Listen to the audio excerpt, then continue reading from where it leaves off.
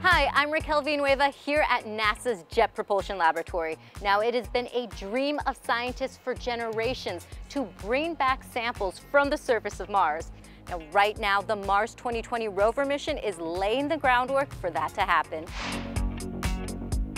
And that's why I'm in the In Situ Instrument Laboratory with Jessica Samuels, and she's here to tell us what's going on here. Well, we use this facility to develop and design our hardware and software systems for our Mars mission. And how does the sampling system work?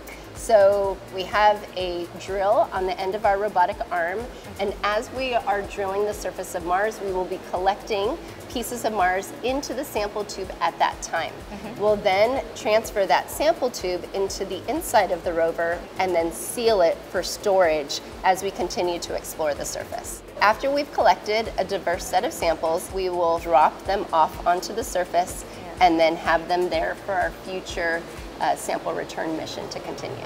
Well, I know you have some tests to keep doing, and I'm actually going to go check out the next phase at a different lab.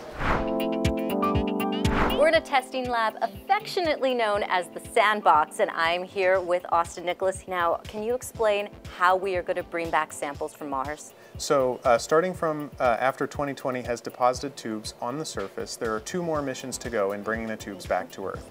The first is a lander mission. It carries three major elements, a sample fetch rover and a sample transfer arm that lets you transfer the samples from the fetch rover into the rocket, and a Mars ascent vehicle, which is a rocket that brings the samples from Mars into space. Meanwhile, the orbiter has also launched from Earth in 2026 and is making its way towards Mars, and it'll be in position by the time the rocket's fully loaded. The orbiter will then go to the sample container that the rockets put into space and then capture it, ultimately bringing them to Earth in 2031. That sounds complicated.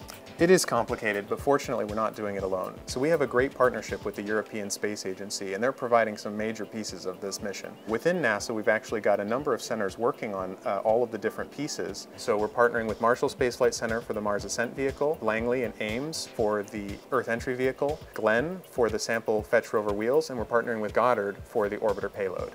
And so there's really a, it's a, it's a whole NASA effort to get Mars sample return done. Sounds like there is a lot of work to be done, but this all kicks off with the launch of Mars 2020 this summer in Cape Canaveral, Florida. And there's lots of excitement here as we get ready to make history.